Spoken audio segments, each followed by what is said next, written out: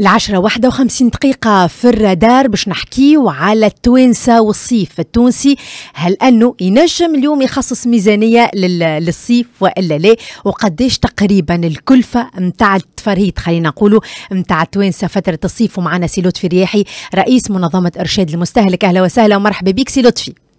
صباح الورد صباح الفل. تحية ليك وتحية للفريق العاملة معاك ومشاهديك ومتابعيك مشكور جدا على التدخل معنا اليوم التوانسة التونسي آه ينجم آه معناتها في العادة يحضر ميزانية استباقية للصيف وإلا لا. وكان نحكيو على آه حجم معناتها ولا معدل التفرهيد تاع التونسي قديش ينجم يوصل السنة نحن باش نحكيو بصراحة ونحكيو التونسي عنده سنوات راهو بعد على التفرهيد. أيوه. عنده عنده سنوات بعد على التفرهيد. لكن باش نحطوا نحن إم بي جي. نحطوا ميزانيه العائلة التونسية في اقلها وفي أدناها بين 100 و 150 دينار يوميا. معناتها باش يمشي تونسي عائلته توكل من زوز ثلاثة من الناس ما اكثرش هذا كان يعمل أربعة وخمسة تكلف أكثر زوز من الناس يكونوا يتفرهدوا في بلاصة في عادية وعادية جدا. ماهوش في مدخل وإلا ميزان دوت مدخمة وإلا. بدقه بين 100 و 150 دينار يوميا معناتها كان باش ياخذ 10 أيام عنده مليون ونص. معناتها هذا يلزمه يصرفه. مليون و مليون ونص زوز من الناس فقط باش يتفرهدوا ماناش نحكيو على على نزل معناه. مدة 10 أيام. نحكيو على حاجة بسيطة بالكل باش يمشي باش ينجم يحاول كيفاش يتفرح. نحن لهنا نحكيو زوز من الناس. خلينا الناس اللي تسمع فينا. عائلة آه معناتها الأب والأم ولا وزوز صغيرات اليوم قديش تقريبا تنجم تكون كلفة الجمعه خلينا نقولوا التفرهيد تحط لهم دوبل تحط لهم يوميا في 250 ترجع وضربهم في سبع أيام. تبني تلقى في المليون ونص مليون و600 وانت خاطر وهذه النتائج تتحدد خاطر كان الفرق راه باش يتعشاو بيتزا وبرك يتعشاو كسكروتات إيه. هنا الفرق. معناتها نحطوا لهم اللي أقل حاجة باش تعشاو كسكروتات ولا بيتزا صغيرة ماهيش غالية أي. ولا يلزم تحط أنت آه تحط في 250 يوميا تبني أقل حاجة.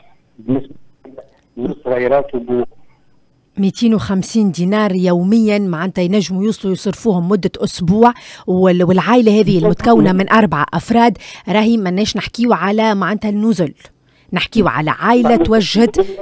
بالضبط. تمشي يتفرهد يحط المبلغ. هذا أقل حاجة على خاطر الوزير الكلفة نتاع التفرهيد في تونس مكلف ومكلف جدا الكلفة متاع الترفيه كما قلت لنا مكلفة ومكلفة جدا. ما عادش معناها سي لطفي اليوم نحكيو على ميزانية مخصصة من قبل معناها العائلة تخلي الميزانية ذيك للصيف. ما عادش التونسي اليوم يحكي على ميزانية للصيف. ما نجموش نحكيو على ميزانية للصيف خاطر التونسي راه حتى نمط العيشة نتاعو تبدل معناتها آه نحن حتى في أصحابنا وأحبابنا الناس قداش عندك ما مشيتش المسرح قداش عندك ما مشيتش الحفلة قداش تلقى واحد يقول لك عندي عامين عام ثلاث سنين ما عادش نخصصوا ميزانية ولا الثقافة ولا هذا كل ما عاد. على خاطر الكلفه ولات غالية برشا التونسي ولات معيشته برشا ما يلقاش الجانب يحاول كيفاش يأمن الضروريات الضروريات باش ينجم يجابه المصاريف الكبيرة. وهنا نعرج بأسلوب اليوم. أي. بين مليون ومليون ونص معناتها أقل حاجة في مليون وفي طالع معناتها هبطنا للسوق وشفنا عملنا تجربة 800000 ما تنجمش أي. 850 900 معناتها الكلفة غالية وغالية برشا. الكلفة غالية الحاجة ممكن اللي تخلي برشا توانسة يدينوا أو يقترضوا للصيف. معناتها من بين المواسم اللي التونسي يحضر لها عن طريق الاقتراض. اليوم معناها اللي هو اللي هو مش حاجة معناتها منصوح بها حاجة م م تخلي تخلي مخلفتها ربما وانعكاساتها المادية معناتها صعيبة وصعيبة برشا. لكن لا فما برشا من التوانسة اليوم وقت اللي نقولوا معناها اقتراب العيد مع مع الصيف التوجه نحو القروضات القرضات اليوم؟ صحيح وهنا القرض مكلف راه قرض استهلاك باش انت تاخذ قرض استهلاك. مكلف مكلف جدا. نعرفوه مثلا باش تاخذ 10 مليون ترجع 14 مليون. أي. القرض مكلف الكلفه نتاعو غالية. التونسي كي يشوفوا هنا زاد بربي قوس صغير نحبوا لو خيالنا في الجامعة النزل والاطفال حاولوا كيفاش نعملوا سوق معقول للتوانسه راه مش معقول. الأسعار اللي نشوفوا فيها ما يقدرش عليها مش معقول آه كي يحسبها التونسي باش يمشي لوكالة أسفار وياخذ اوتيل وكل شيء يلقى روحه كي يعمل voyage لبلاد ما نحبوش نسموا البلاد. لبلاد أخرى يلقى أرخص من اللي في بلاده وهذا ماهوش معقول هذه الاسعار بتلائم التونسي خاطر مش معقول آه تتفرهد في بلادك أغلى كيف. واضح اليوم الترفيه. قلت لنا مكلف ومكلف جدا. عائلة متكونة من أربع أشخاص باش تترفه أو تتجول الكلفة 250 دينار يوميا. مش نحكيو على نزول 250 دينار.